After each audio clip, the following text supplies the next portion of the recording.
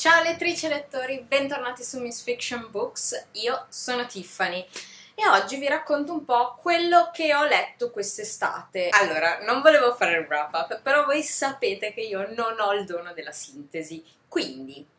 questa probabilmente sarà la prima parte di un uh, video un po' più lungo, quindi che poi avrà il suo seguito, dove vi parlo dei, delle mie letture estive, di quello che ho letto dall'ultima volta in cui ci siamo sentiti con il wrap up, che penso fosse giugno, quindi vi racconto tutto quello che ho letto tra luglio e fine agosto, ovvero que- questi giorni, insomma, perché devo dire che nonostante io fossi abbastanza sicura di non aver letto praticamente una mazza, ho letto un sacco. E tanti titoli belli eh, e tanti titoli dei quali secondo me bisogna discutere. Insomma, ci sono titoli che mi sono piaciuti moltissimo, titoli che invece mi hanno delusa parecchio e titoli che forse meritano una discussione in merito. Quindi direi di iniziare subito a parlarne insieme. Il primo titolo di cui vi parlo è un libro che io attendevo davvero tanto. Stiamo parlando di Leah on the Hoffbit, ovvero uh, il nuovo libro che fa parte di tutta la galassia di Simon vs. The Homo Sapiens Agenda che adesso appena uscito il film ed è diventato Tuo Simon o Love Simon in inglese, di Becky Albertalli. A me il primo volume, cioè Simon, era piaciuto molto, nel senso, pur trovandoci dei difetti, li trovavo un messaggio molto positivo, eh, delle relazioni o comunque delle mm, dinamiche interne alle relazioni, non solo quelle amorose, ma anche quelle tra amici, familiari, eccetera, molto realistiche e molto positive. E forse è complesso come discorso, è facile entrare in empatia con il protagonista perché se ne vive un po' l'angoscia, no? E presentandosi questo suo universo attorno, insomma, è molto interessante da scoprire tutto il mondo attorno a Simon, che è molto vicino a quello che potrebbe vivere qualsiasi ragazzo, qualsiasi persona attorno a noi. E poi ora è arrivata Lia, che è la migliore amica di Simon, e ora seguiamo la sua storia. La storia di Lia è molto diversa da quella di Simon, a partire proprio dalla sua famiglia, mentre Simon ha un po' la famiglia idilliaca, eh, però che eh, discute, che parla, insomma, una famiglia dalle, un po' ideale da un lato, dall'altro però eh, con dinamiche assolutamente credibili. Lia invece ha una madre single che è più impegnata a trovare un nuovo marito, che è sempre dietro a lavorare, che è troppo occupata per prendersi cura di lei. E mm, Lia un po' questo aspetto lo vive davvero male all'interno del libro e forse è la parte migliore del libro.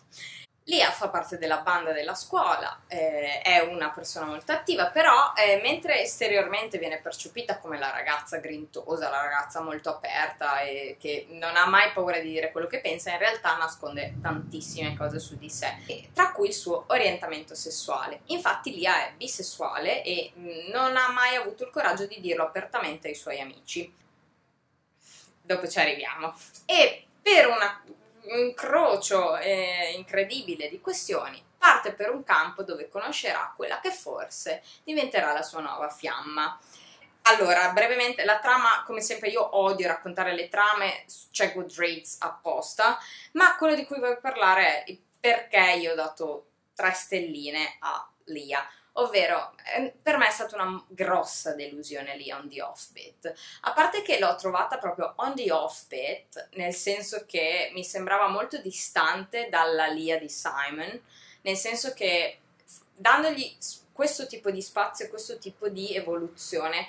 è, mi è sembrato un personaggio davvero molto arrogante, davvero molto egoista per alcuni versi. Eh, lì è un personaggio molto negativo, è molto uh, rude, è molto maleducata, dice davvero tantissime bugie, ma tr- quel troppo che porta il lettore a considerarla anche poco autentica nel suo rapporto con gli amici, soprattutto con Simon. E abbastanza insopportabile, che mi è sembrata una sensazione stranissima perché a me invece era piaciuta nella sua versione precedente. Ora l'ho trovata proprio fuori fase e quello che è l'impressione generale che ho avuto di questo secondo volume è che fosse una fanfiction, con tutto il bene per le fanfiction, quelle scritte bene. E ne sto leggendo una bellissima ora, grazie a Miss Nerily. Però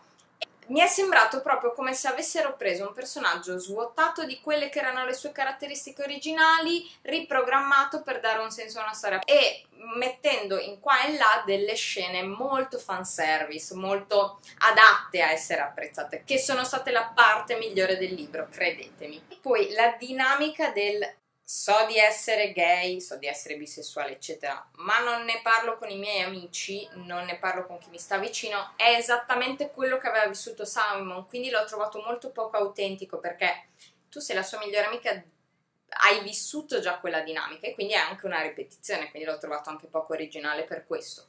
Detto ciò, eh, secondo me l'errore più grande in tutta la storia che innanzitutto è estremamente prevedibile, innanzitutto si distacca troppo da tutte le informazioni che noi avevamo nel precedente libro, ad esempio secondo me non era così chiaro che lei fosse bisessuale. E il personaggio di Lea, vivendo la sua identità sessuale, è allo stesso tempo confusa, ma confonde anche il lettore, perché la lettura che si dà anche del suo orientamento sessuale è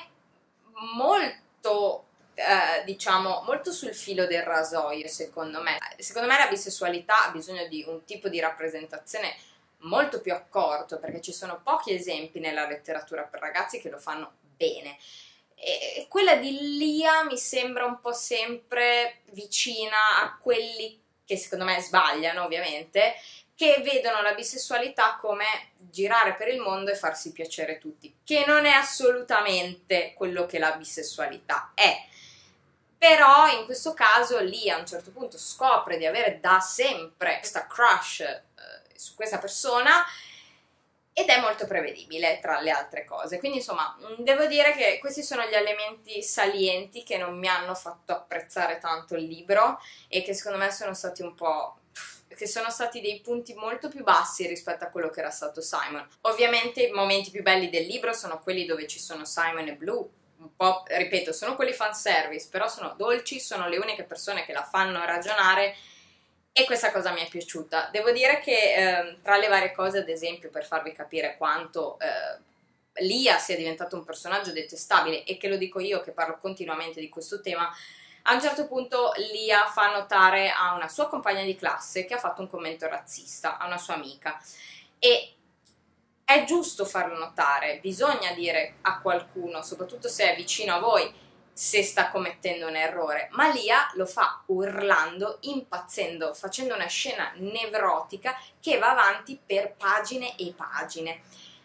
Ripeto, per me è giusto far notare alle persone quando fanno commenti razzisti, perché è ora di smettere di stare zitti e non farle passare, ma lei ha una reazione esagerata, passa dall'avere ragione all'essere nel super torto perché per difendere la sua posizione contro il commento razzista sminuisce l'altra persona e la fa sentire eh, completamente una stupida, la fa sentire inadeguata a qualsiasi cosa, quando la ragazza chiede subito scusa tra l'altro. Cioè, rispetto a Simon, la personalità di Lia è molto meno apprezzabile e molto meno digeribile, secondo me, da parte del lettore. Quindi, insomma, non ho apprezzato troppissimo questo secondo volume. E proprio a proposito di uh, razzismo e commenti del genere, ho letto, perché dovevo recensirlo per Edelweiss Plus, Pride di Ibi Zoboy, che è la uh, reimmaginazione in chiave moderna di Pride and Prejudice di Jane Austen. E incredibilmente l'ho trovato adorabile questa cosa mi preoccupa tuttora perché in realtà è un libro che ha un sacco di difetti, mm, però ne esce benissimo fuori. È estremamente carino. Eh, immaginatevi Pride and Prejudice, ma a Brooklyn. Tutta un'altra ambientazione, siamo a Brooklyn e dobbiamo immaginarsi la famiglia Bennett come se fosse di origine afro-latina e quindi invece che essere Elizabeth Bennet, la nostra pro- protagonista, si chiama Zuri Benitez e a un certo punto nel loro, nel loro quartiere si trasferisce la famiglia Darcy, che è di tutt'altra estrazione sociale, anzi non c'entra nulla con la zona in cui vanno a vivere, che è un quartiere mega popolare, in questa casa che ristrutturano e diventa estremamente benestante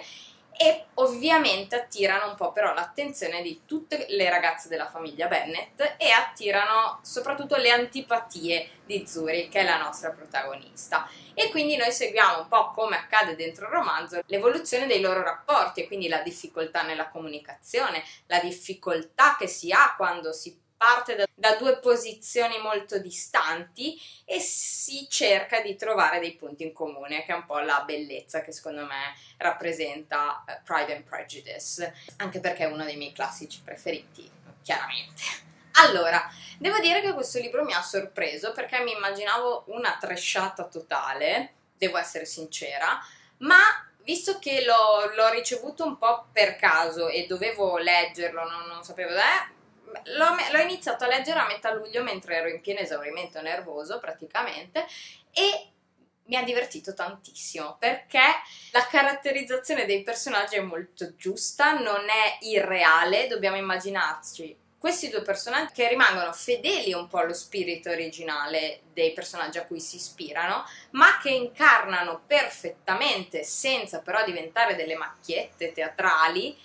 quello che è la loro, la loro esperienza, quello che è il loro universo. Infatti Zuri è una ragazza dei quartieri poveri, è una ragazza che però è orgogliosa di fare parte di quell'ambiente, è orgogliosa delle sue radici, è orgogliosa della sua parte di città, che è una porzione estremamente povera del quartiere di Brooklyn ed è la parte afro-latina, dove si mescolano realtà, culture diverse e dove la cosa bella è che tutti fanno casino. E questa cosa mi è piaciuta molto perché proprio eh, vivere il quartiere come se fosse una grande famiglia allargata. Mi è piaciuto perché lo vivono proprio con grande autenticità. E poi si vedono arrivare questa famiglia che non ha nulla a che vedere con loro, che non frequenterà nemmeno le stesse scuole, non avrà, insomma, e che partono da un punto di vista molto diverso rispetto a loro, che da un lato li spaventa perché l'arrivo di una famiglia così benestante vorrà dire anche gentrificazione, vorrà dire anche la salita di tutti i prezzi, quindi ci sono anche delle preoccupazioni sociali dentro il libro, cosa che mi ha spiazzata e sono rimasta piacevolmente colpita. Comunque, quello di cui vi sto parlando si chiama Pride, è un libro che esce po- fra pochi giorni e secondo me è un romance con delle tematiche anche un pelo più significative che si legge in un soffio, proprio si, si, riesce a leggere con estrema facilità, è scorrevolissimo. Lo stile sicuramente non è perfetto, ma è molto adatto a quello che racconta, conosce bene quello di cui parla e, e questa è stata una delle sorprese di quest'estate perché gli ho dato 4 stelline abbondanti anche potremmo dire perché ha tantissimi punti a favore. Il prossimo libro di cui vi parlo è Motor Girl di Terry Moore, pubblicato da Bow Publishing. Allora, questa è una graphic novel che io ho letto anche quella verso metà, eh, cioè l'ho finita in realtà, l'avevo iniziata a giugno, poi a un certo punto ho dovuto interromperla e dopo vi spiego perché e l'ho finita di leggere a luglio. Allora, devo dire che sono rimasta spiazzata da questo titolo che non so mi ispirasse davvero del tutto, però mi ha conquistata pieno. Motor Girl è la storia di Samantha che vive in mezzo al deserto in un, uh, uno sfasciacarrozze, in un rottamatore, insomma non, non so neanche bene come definirlo, insieme al suo amico immaginario, il gorilla e un giorno vicino al loro demolitore cade un UFO. I due si precipitano a cercare di salvarlo e cercano di fare amicizia con questa creaturina venuta dallo spazio. Scopriranno però che questo UFO non l'hanno visto solo loro, ma ci sono società e individui un po' loschi che cercano di comprare proprio questo demolitore, questo sfasciacarrozze, per poter installare un'arma anti-UFO, una grande centrale che terrà gli UFO lontani. E Samantha rifiuta continuamente le loro proposte, i loro soldi, eccetera, e inizia una guerra silenziosa contro di loro che, pur essendo uomini importantissimi e cercando ovviamente di minare l'esistenza di Samantha, scopriranno che insomma non hanno davanti una ragazza che si fa mettere i piedi in testa.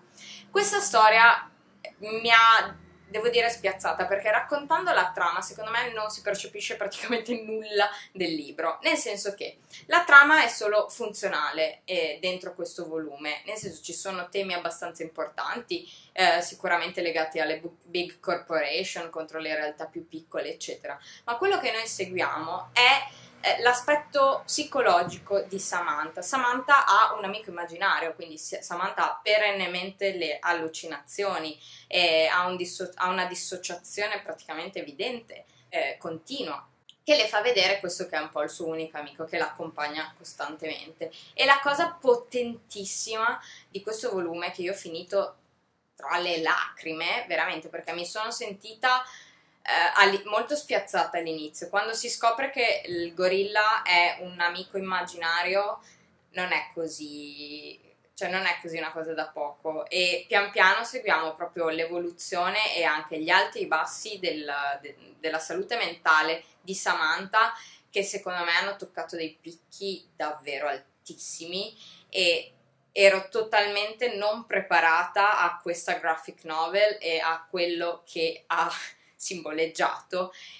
e ho apprezzato tantissimo soprattutto i temi, il modo in cui li tratta, anche la delicatezza con cui lo fa, senza appesantirli, senza ammorbare il lettore, senza provare a sempre quella sorta di pietismo verso chi soffre di malattie mentali, ma anzi facendolo sempre con grandissima eleganza e riuscendo a inserire in un contesto ovviamente molto poco credibile, nel senso che stiamo parlando di big corporation che cerca di installare un'arma contro gli UFO, però lo fa comunque in maniera credibile perché è una storia di chiunque abbia una piccola realtà, chiunque cerchi di tutti i giorni affrontare quella che è la sua vita quotidiana nonostante le grandi difficoltà che ti mette davanti il convivere con una malattia mentale. È un volume che mi ha davvero spezzato il cuore, mi ha molto emozionato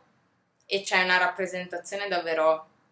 corretta, giusta e avere a che fare con eh, la sindrome post-traumatica che è quella di cui soffre Samantha rappresentata così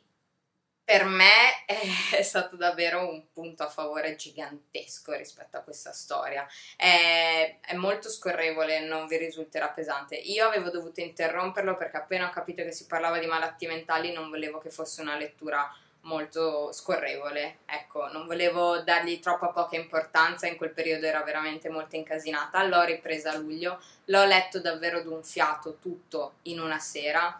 ed è stata una sera veramente spezzacuore, ma ve lo consiglio davvero moltissimo. Io gli ho dato 4 stelline e mezzo perché non sono una fan esagerata dello stile, ma mo- la fluidità narrativa e l'intensità della storia, la concretezza della storia secondo me valgono tantissimo, quindi ve lo consiglio molto molto molto. Il prossimo titolo di cui vi parlo e del quale parlerò nel dettaglio prossimamente è perché non sono femminista di Jessica Crispin, che tra l'altro mi ha regalato mio fratello sotto mia richiesta e dettatura e sono davvero molto contenta di averlo letto perché era uno di quei titoli che all'inizio ho detto, appena uscito ho detto no, non leggerò mai, perché non, non ne avevo sentito parlare abbastanza male,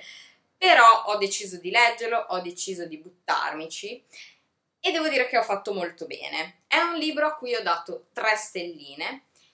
ma che secondo me dà un sacco di argomenti di discussione. Davvero, voglio parlarne approfonditamente in un Feminist Friday, spero molto presto, perché non sono femminista, in realtà ci spiega tutti i motivi per cui Jessica Crispin crede fortemente nel movimento femminista, ma in un certo modo, ok? Quindi questa è un po' tutta la premessa. Secondo me gli argomenti sono altamente condivisibili, i temi sono estremamente forti, i temi da discutere sono davvero moltissimi. Il problema è che la Crispin arriva al punto ma poi non approfondisce mai, non ci dà mai la soluzione, non ci fa mai degli esempi. E questa cosa io l'ho vissuta apprezzandola veramente molto poco, perché mi è sembrato una sorta di j'accuse totale di tutto quello che non mi piace, senza però essere mai propositiva, che è un atteggiamento riguardo al femminismo, soprattutto questo femminismo che è radicale e che io sostengo, appoggio, approvo, eccetera, però Questo atteggiamento non propositivo a me non piace mai, soprattutto quando si parla di femminismo. È un po' il motivo per cui è nato anche il Feminist Friday, quindi non è nato per fare dei j'accuse, ma è nato per analizzare e parlare di come possiamo evolvere come società. Insomma, vabbè, ve ne parlo, ma nel dettaglio più avanti. Però è una lettura che consiglio tantissimo, sappiatelo. Ok, ora arriviamo invece alla parte difficile, perché stiamo parlando di Bright We Burn di Kirsten White. Bright We Burn è il titolo che io più attendevo quest'anno. Cioè, tutti sapete quanto io sono fan della trilogia di Andy Tarkin e quanto io abbia investito emotivamente, psicologicamente su questa trilogia. E ci sono tanti video in cui ve ne parlo, tanti video in cui vi nomino il mio personaggio preferito degli ultimi anni, ovvero l'Ada Dracul, e i motivi per leggere questa saga sono davvero molteplici. Però qua stiamo parlando del volume conclusivo, ovvero quello che mette tutti nei casini di solito, perché scrivere il finale di una saga è un casino, non possiamo vederlo in un altro modo. Scrivere il finale, come dico spessissimo, comporta un sacco di difficoltà, perché il primo volume ti introduce tutto il mondo, il secondo ti deve tenere attaccato alla saga, o quelli centrali ti devono tenere attaccata alla saga. Il finale deve essere fulmini, saette e fuochi d'artificio, perché deve essere un finale dignitoso. Bright We Burn, se noi escludiamo gli ultimi quattro capitoli,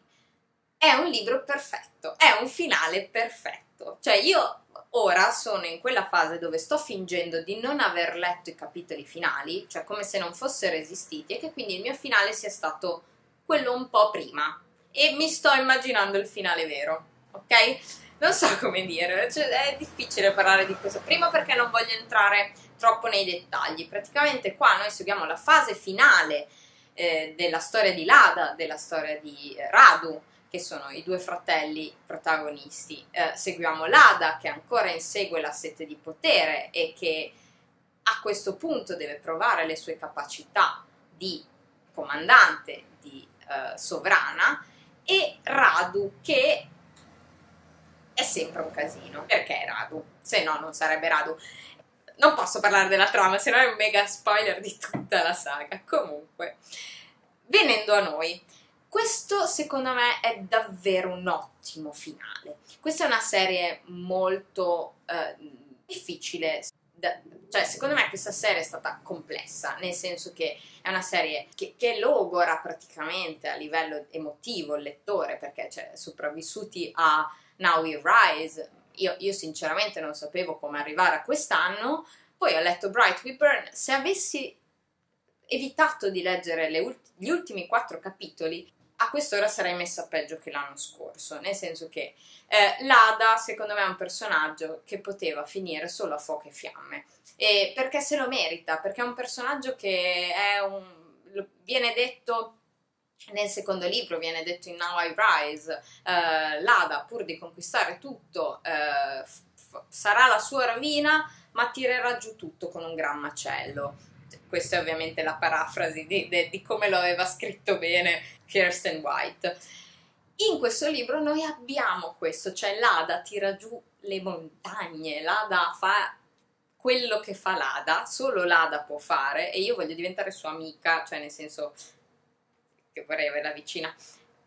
non come nemica. E quindi è que- ed è giusto che sia così, perché l'Ada deve sbatterci il muso. All'Ada non interessa nulla, non gliene frega niente se quello che ha in testa è impossibile. È l'Ada, è pazza, lo può fare. Radu invece, secondo me, in questo volume ancora più che nel secondo e vi giuro è difficile pensare che l'Adu possa crescere ancora di più invece non l'ho mai apprezzato tanto come in questo libro perché è un personaggio che è molto diverso da Lada, è un lato totalmente opposto della medaglia, perché noi vediamo eh, un personaggio che non è uh, tuoni, fulmini e saette, anzi è molto contemplativo, è molto sensibile, è molto limitato nella sua espressione, cosa che invece Lada non ha mai neanche considerato,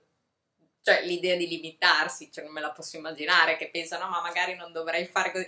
Cioè, no, a lei non gliene frega niente. Rado invece è proprio l'opposto, cioè sono il sole e la luna loro due. Sono due personaggi due entità molto differenti ed è la cosa che io ho apprezzato tantissimo.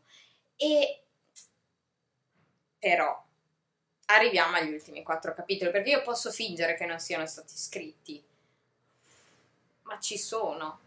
E invece che avere il finale dove avrei pianto davvero ancora più di quello che ho pianto, perché ho pianto in treno, non potevo piangere, avevo le persone di fianco che non capivano il mio dolore. Cioè, io mi sarei potuta distruggere e invece ho ottenuto negli ultimi quattro capitoli, cosa che non c'entra nulla con tutto il resto, quello che viene prima, l'happy ending. Io no, cioè non ve lo voglio dire perché potrei impedirvi di leggere, ma questa è una delle mie saghe preferite. Lo è comunque dopo anche aver letto gli ultimi quattro capitoli, ripeto, basta ignorarli. Psicologicamente è possibile, ve lo giuro, l'ho fatto io e lo sto facendo da luglio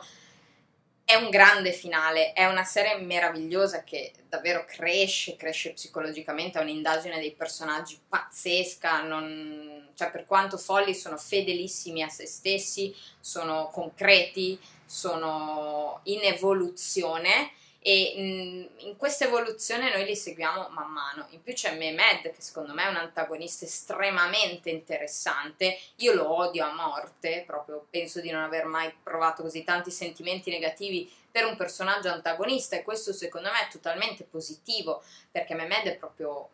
un viscido, un maledetto, un... ok? E questa intensità io negli ultimi anni, dopo Six of Crows, l'ho ritrovata solo e unicamente con questa serie o con poche altre serie comunque. Non ha questi picchi e quindi è per questo che io vi dirò sempre leggete And I Darken, leggete Io sono buio, anche se in Italia so che forse non pubblicheranno i seguiti tradotti, le solite robe all'italiana. Comunque, volete farvi un favore, leggetelo perché è una serie meravigliosa che è davvero vi spezzerà il cuore,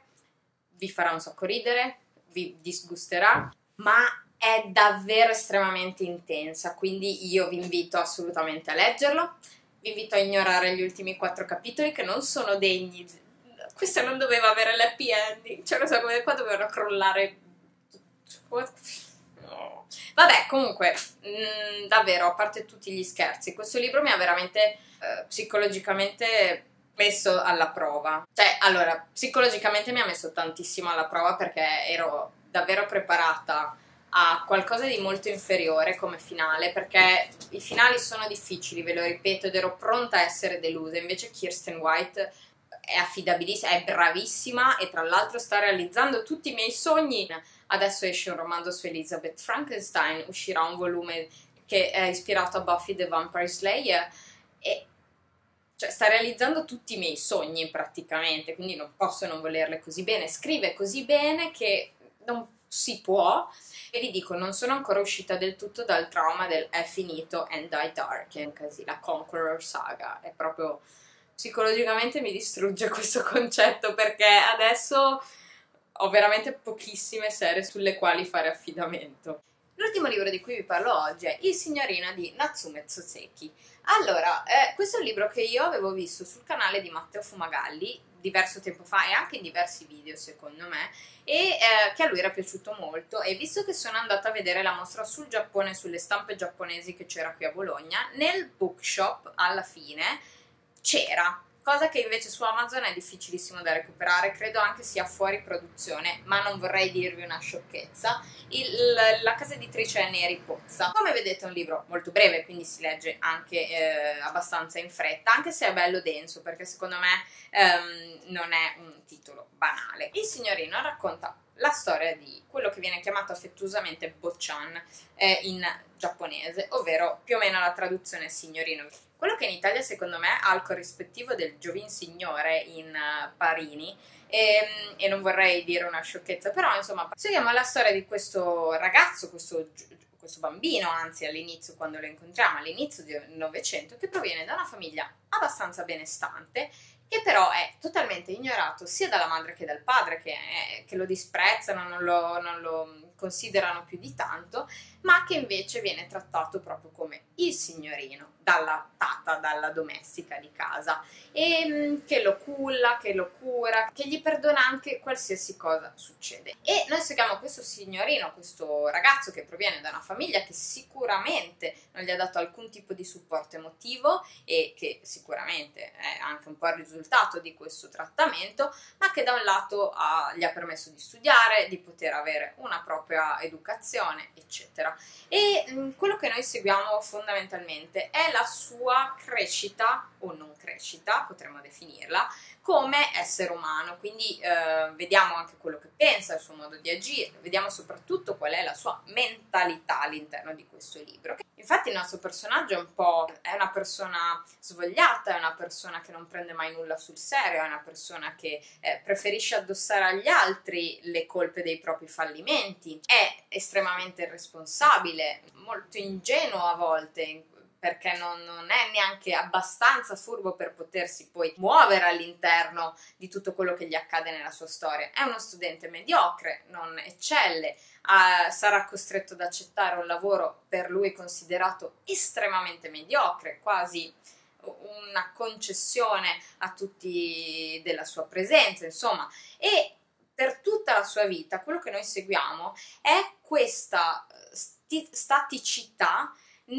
sua, nel suo personaggio, il fatto di non riuscire mai a liberarsi del suo passato, della sua, della sua crescita e quindi di rimanere sempre il boccian. In, in, lingua giapponese proprio lui rimane il signorino, che in realtà vuol dire boccian, vuol dire signorino, però anche visto come una caratteristica negativa. Però da un lato, secondo me, la cosa sorprendente di questo protagonista che è davvero difficile da apprezzare, però la cosa secondo me interessante di questo protagonista è che anche, nonostante la sua posizione dopo essere, essere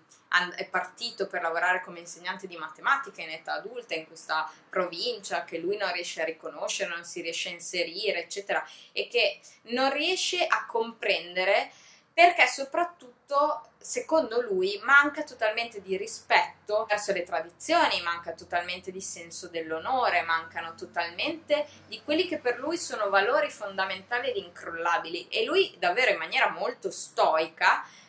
continuerà a cercare di difendere quella che è la sua mentalità e quello che si porterà dietro per tutta la vita. È un libro molto breve ma denso di considerazioni che il lettore si trova a dover fare sul protagonista. Secondo me non è un libro che ti racconta troppo qual è la sua stessa morale. La morale è molto intuitiva, secondo me, perché parla un po' della decadenza della società, però la cosa che ho trovato estremamente interessante è che lo fa tramite un protagonista pieno di difetti e che sicuramente il lettore non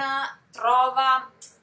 apprezzabile, anzi è difficile entrare in empatia con il signorino, è difficilissimo, anzi per tutto il libro davvero fatichi a capire il suo modo di ragionare, fatichi a capire come non possa vedere anche le cose più evidenti, però è davvero il punto più forte di tutto il libro. Io gli ho dato tre stelline e mezzo perché l'ho trovata una lettura quantomeno molto interessante. Devo dire che non è una lettura che mi ha lasciato particolarmente scombussolata, però tutto il metodo narrativo di Soseki è assolutamente interessante perché ha una delicatezza nella composizione di questa storia.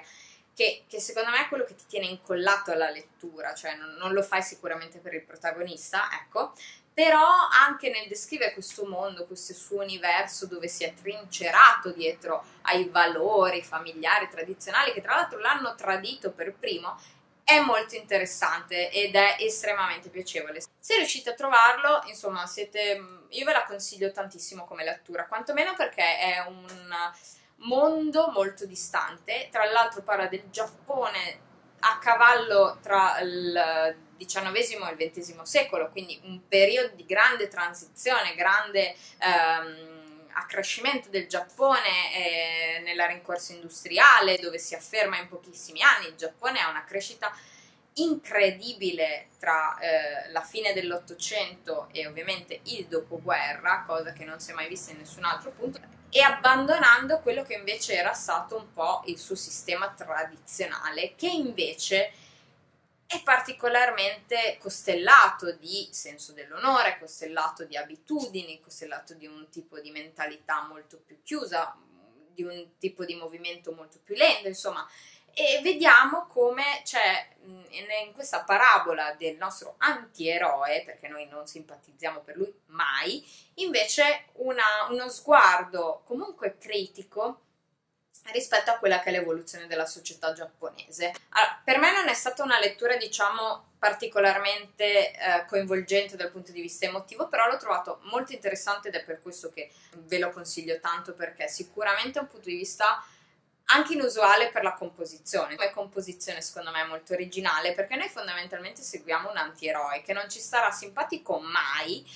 e che ci fa vedere come quello che succede a lui che all'inizio insomma un po' glielo auguriamo perché eh, non se ne può più, deve, deve crescere, per, il lettore pensa continuamente cresci per l'amor del cielo,